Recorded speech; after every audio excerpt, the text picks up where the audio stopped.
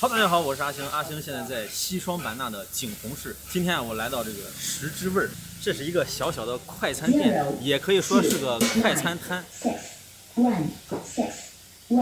啥玩意儿。哎，您好，我这边是国泰大讲堂的客服。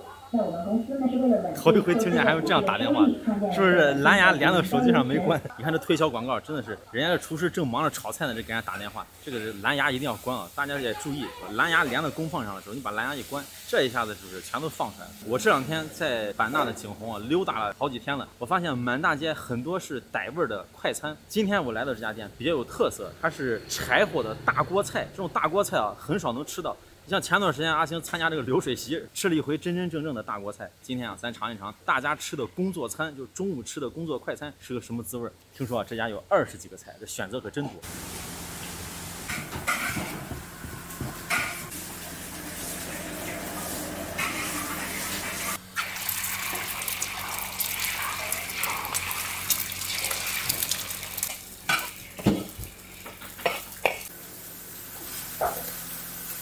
说现在到哪能吃到这种大锅菜？你在酒店里都吃不到。这种大锅菜吃起来特别的香，因为它下料多，技术含量相当高。啊，搞这个灶的技术很好。这灶是当地的专门垒这个的是吧？啊，专门有那个师傅。那你这个柴火你怎么掌握这火候的？就从后边添柴是吧？啊，这里贴柴。柴多柴少的火大火小可以控制。嗯，有一些菜就是需要爆炒，要火力要大一点；一些菜啊不需要大那火。这就是烂柴，然后这就是柴火，从这儿烧加热。虽然这个条件看起来有点简陋，但是今天咱吃的是正儿八经的柴火大锅菜，太香了。人家这个菜全部都配好了，炒哪一个直接下锅，非常的快。这一天呢，大概要炒十几二十个菜。另外来看一下，这大哥这个手艺啊，也不是一般人。为啥呢？人家炒这个大锅菜啊，不是一般人能炒的，因为你在家拿那个小锅可以掌握。你看这个调料的多少，还有下油的多少，下盐的多少都是不一样的。最牛的是，他一边炒着菜啊，还要管后边烧火。哦，控制火力还是有技术的，是吧？啊，这个要会会烧，不会烧这个还烧不着。哦。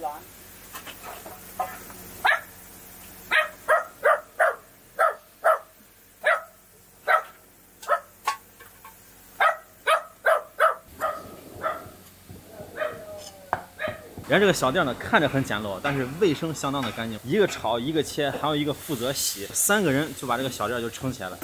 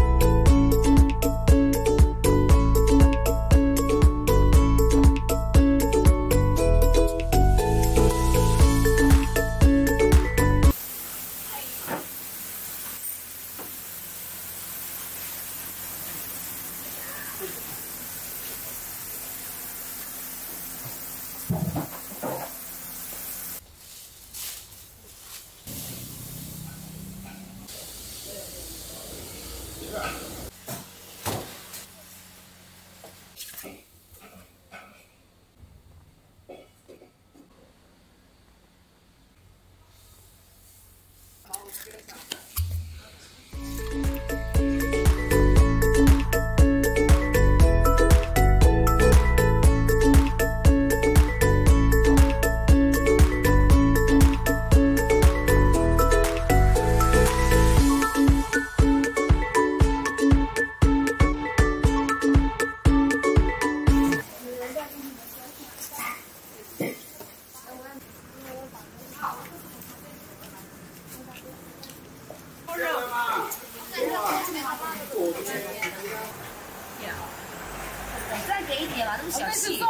你了，怕你吃不下去啊。然后，然后再来一个这个就可以了。哎，够了吗？我要腌菜炒的。我身后这个大哥好像是周围上班的，还是建筑工地上的过来用餐。中午吃饭就这会儿的功夫，都要喝一杯白酒。他这家店很有意思，可以打一杯一杯的按杯卖，这是高手啊，这是喝酒的高手。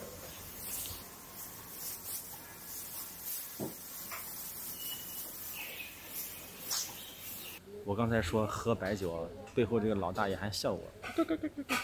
看来啊，他也经常爱喝。你像这我不爱喝酒的人，我就不理解，中午这会儿功夫还要喝酒。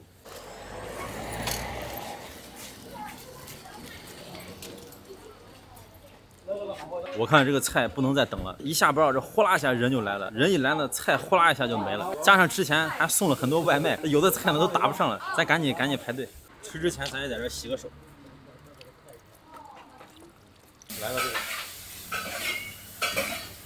来个。这个，来条鱼，再来个。折耳根黄瓜，打在一块儿吧。打在一块不好吃。这个。黄瓜应该有折耳根是吗？对，二十三块。好，谢谢啊。好我刚才看到有人把这个米汤都打包带走了。这个套餐呢就是二十三块钱，是两人份儿。呃，米饭是两块钱随便吃，两个人呢就是四块钱随便吃。肉菜是五块钱，我要了俩，十块。这个素菜呢是一块钱，所有的素菜都是一块钱。这条鱼是八块，可以说是经济实惠啊。咱来这吃啊，就是吃它这个柴火的味道。先来口米饭。十八元。米饭虽然说算不上多好，但是还可以。刚才我问这个老板娘，我说你怎么每一个菜里头都有辣椒？她说没办法，你说在西双版纳这做生意，所有的菜都得加辣椒，就这这本地人还嫌不够辣。让我尝尝这个辣的鸡块辣不辣？还可以，但对于我来说也不够辣。阿星也能吃辣。酸菜炒肉末，这个菜下饭。这种快餐还是傣味快餐，偏本地人的口味。要么就是小米辣，要么就是酸味儿，就酸酸辣辣的。还有这个黑暗的折耳根，我还专门点了一个黄瓜折耳根，一块钱这么一份儿，尝尝折耳根。阿星这是头一回用折耳根配米饭，这以前啊是闻风丧胆。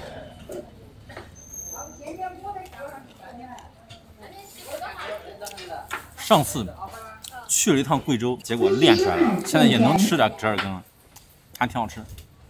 他们这边热带地区啊，就吃点酸的，吃点辣的，然后吃点凉菜，比较开胃，也比较解暑。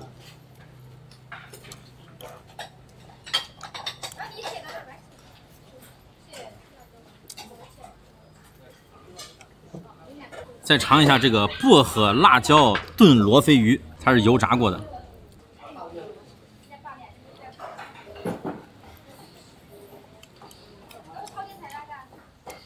这种快餐啊，吃的就是效率。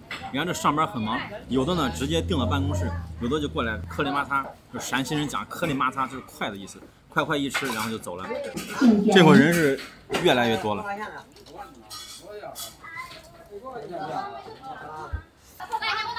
看哪里干？嗯。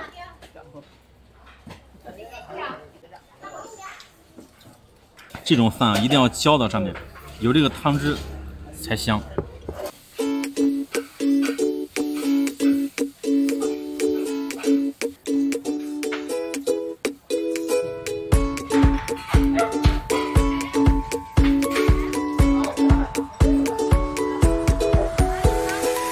多朋友看阿星的视频，觉得阿星你天天吃好吃的，错了。其实我吃的最多的和你一样，也是工作餐。那我不拍视频的时候，我总得吃饭吧。而且我特别热衷于这样的快餐。第一，性价比很高，便宜实惠；第二呢，就选择很多。他这家店啊，有两个特色，一个就是柴火大锅饭，还有一个呢是傣味儿。这个傣味儿和咱们经常吃的这种快餐的川湘菜还是不一样。那川菜、湘菜多了一些酱香，它这个傣味儿呢就是辣，然后食材的本味儿，还有确实比较咸。这边人口味还是挺重的。看我的身后这一排啊，全是各种各样的快餐店，他们提供酸甜苦辣咸。那你吃完呢，就准备投入工作了。好，那就这样。